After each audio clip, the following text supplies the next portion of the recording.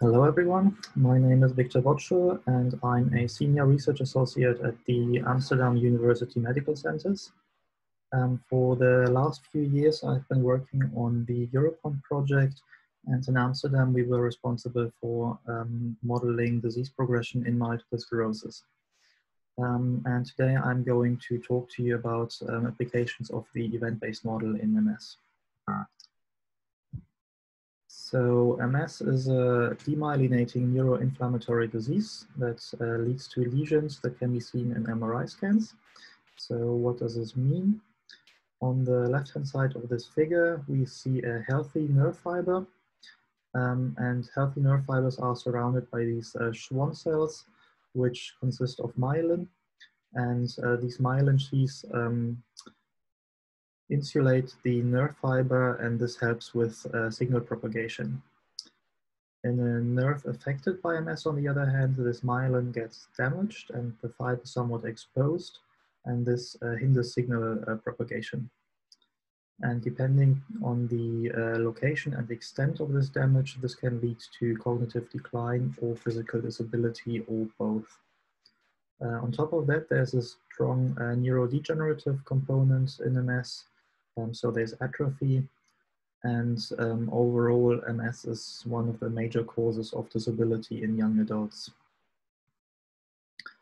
Um, since I'm going to talk about uh, EBM type of models, just a quick uh, recap, uh, even though Neil just gave a very nice introduction on this in the morning. Um, the goal is to model temporal orderings of events from cross-sectional data and event means um, a biomarker becoming abnormal. So what we do is to look at our um, biomarker distributions and try to define um, what's normal and what's abnormal. And um, in this case, we use a Gaussian mixture model to derive an abnormal component, so events that have happened already, and a normal component, events that are yet to happen. Um, once we have that, we basically just need to throw it all together. The probabilities from all subjects and all biomarkers are put into a statistical model. Um, and we then use a greedy approach to obtain the most probable ordering. Um, and as a final step, we uh, use cross-validation to estimate the uncertainty. Um, Today I'm going to um, present three different uh, studies using um, EBM type of models. Um, the first one is on atrophy. The second one um, on more general disease progression using um, multimodal biomarkers. And uh, finally, a study on uh, data-driven subtyping of MS patients. Um, this um, figure basically summarizes the work of uh, a former colleague of mine, Arman Eshaghi from uh, UCL.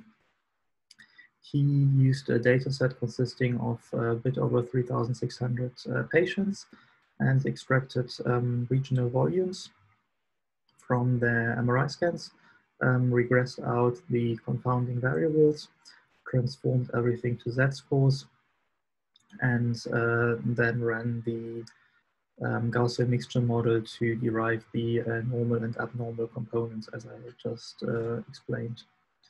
We then used um, the greedy, uh, greedy ascent search to find the um, sequence with the highest likelihood and uh, finally performed a cross-validation to get an um, uncertainty estimation. Um, this are his um, main results. He found um, two different um, orderings of atrophy progression for two different types of MS. The first one is relapse onset MS, which is characterized by uh, phases of relapses and phases of uh, remission. And the second type is the primary progressive MS type, which is characterized by continuous worsening of the um, patient status um, without explicit relapses. Um, on the y-axis, we have the um, most likely ordering of um, brain regions becoming atrophic. However, um, I think you would agree that this is rather hard to um, interpret and compare, but fortunately we can also project this onto brain scans. And then it becomes much more easier um, to compare the two different uh, progression patterns. And we can see, for example, that the relapse onset um, has an early event in the cerebellum um, and also relatively early deep gray matter involvement, which um, we can't see in the primary progressive type. But um, the more um, we progress towards the late stages, the more similar the disease progression patterns actually become in the end. So to conclude this part, um, the model um, is very nice and provides insightful uh, findings we can see that there's a generally similar progression pattern between different types of MS, but there are also some differences in key regions. For example, as I'd mentioned, the um, earlier involvement of the deep gray matter and cerebellar regions in the relapse onset MS type. Um, however, um, MS is more than just neurodegeneration. Um, and with this, we come to the second part, um, disease progression using multimodal biomarkers. And um, one of um, the motivation for this is um, essentially that MS really is not just neurodegeneration, but also that many studies, especially clinical studies, look only at individual biomarkers at a time. And this makes it um, very difficult to put findings into context and assess interaction and uh, time between those biomarker events. So what we did is to derive data from 391 subjects, and about 300 of those were uh, MS patients.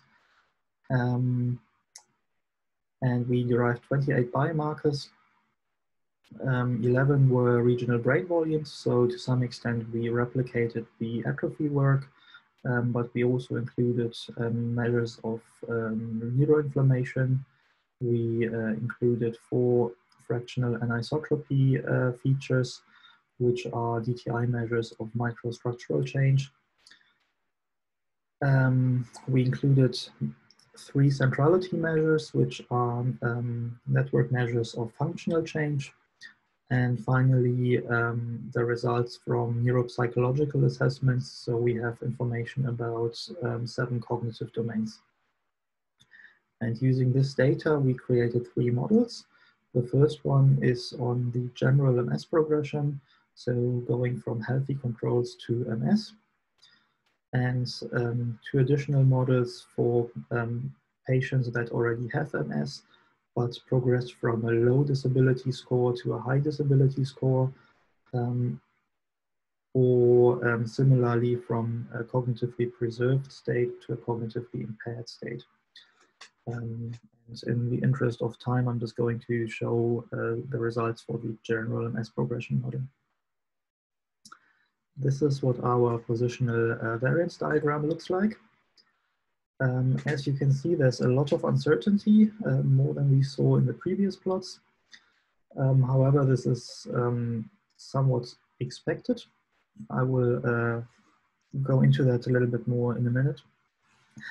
Um, but despite the uncertainty, we can actually still derive some useful information. For example, we can tell that the um, corticospinal tract is um, definitely a rather early event, especially if we compare it to the other um, DTI measures, which are all the way down here. Um, similarly, we can see that the cerebellar and uh, thalamic volume uh, appear very early which is perfectly in line with uh, the findings that um, we saw in the previous study. And we can also see that there are certain cognitive domains that are affected early in the disease course, whereas others um, are really um, only being affected at the end of um, the disease progression course. Um, this the sequence, of course, can also be used to stage subjects. And if we do that, we can see that the um, majority, about 70% of uh, healthy controls are staged in um, stage zero, one, and two. So they have absolutely no abnormality um, or um, only two biomarkers um, abnormal yet. And we can also see that um, there's no healthy control staged higher than stage 11. Um, in comparison, VMS patients are uh, much more spread out across um, all 21 stages. Um, and this is um, quite expected because MS is a very heterogeneous disease. Um, so we will have uh, some patients that might have a very mild form or maybe just a very short disease duration, um, which are also no biomarkers abnormal yet. But um, there's also a full-blown uh, multiple sclerosis course um, where patients essentially have all biomarkers abnormal already. Um, so to conclude, there's a lot of uncertainty in the model and um, there are several potential reasons for that. One is um, simply biomarker correlation. Um, if we measure similar things in similar areas using similar tools, then these um, measures will automatically be somewhat correlated. Um, for example, if you uh, yeah, look at different cognitive measures, they all kind of collect similar information, so there is always some correlation.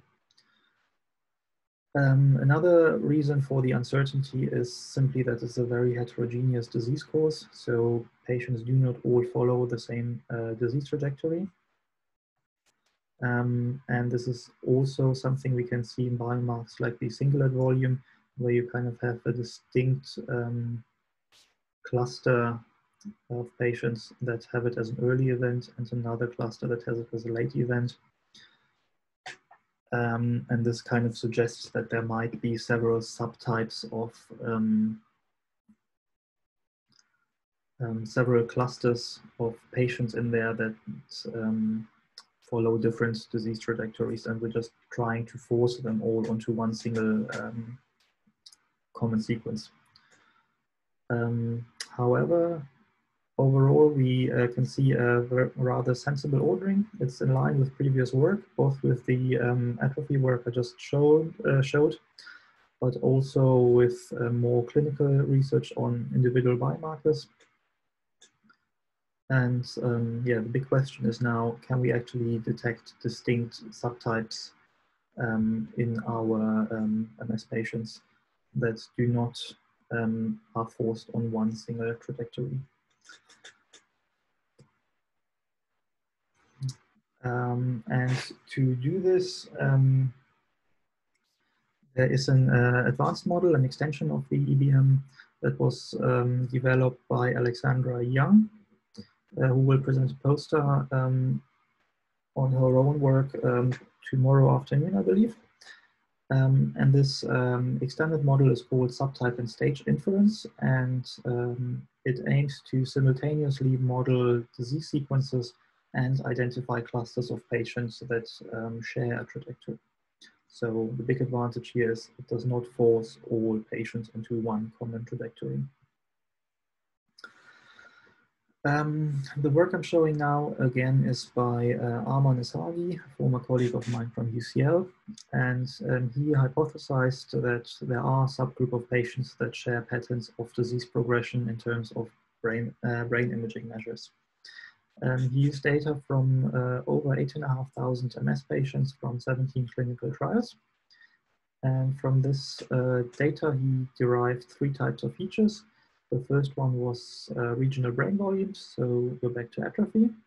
The second one is uh, lesion loads, um, these ones.